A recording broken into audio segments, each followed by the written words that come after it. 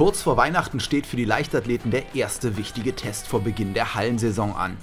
Der neunte Run and Jump des SCC Berlin ist ein eher ungewöhnliches Leichtathletik-Meeting, aber Disziplinen wie der 30-Meter-Sprint mit fliegendem Start, der Dreier-Hop aus dem Stand oder der 10er Sprunglauf bieten besonders Kaderathleten eine gute Möglichkeit, ihre aktuelle Trainingsform auf den Prüfstand zu stellen. Und auch Olympiastützpunkt-Trainer Sven Bugel erfährt hier, wo er noch nachjustieren muss. Also man hat eben eine Form, klar, die ja jetzt schon mal ähm, getestet wird vorab, wo man dann vielleicht noch ein bisschen nachjustieren kann, gucken kann, wo fehlt es vielleicht noch, sind es eher die Sprungqualitäten, sind es eher die, die, ich sag mal, für den Sprint, für den Sprung gesehen, die fliegenden ähm, Geschichten, die halt da noch verbessert werden können. Ähm, aber eben auch ähm, sicherlich schon mal, ich sag mal, einen Wettkampfcharakter vorzufühlen. Und die Gelegenheit zum Vorfühlen wird von den Athleten fleißig genutzt.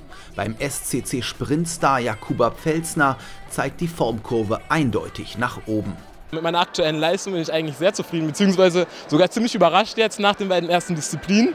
Beim 30 Meter Fliegentest hatte ich eine 2,82. Das ist eine Bestleistung und dann bei den 60 Metern eine 6,95. Das ist ebenfalls eine Bestleistung. Deswegen bin ich ziemlich zufrieden. Auch Svea Körbrück ist mit ihren Leistungen über 30 und 60 Meter zufrieden. Für die 24-Jährige stehen die Sprintdisziplinen im Vordergrund. Zum Run and Jump kommt die deutsche Vizemeisterin über 400 Meter immer gerne, um sich optimal auf die anstehende Hallensaison vorzubereiten.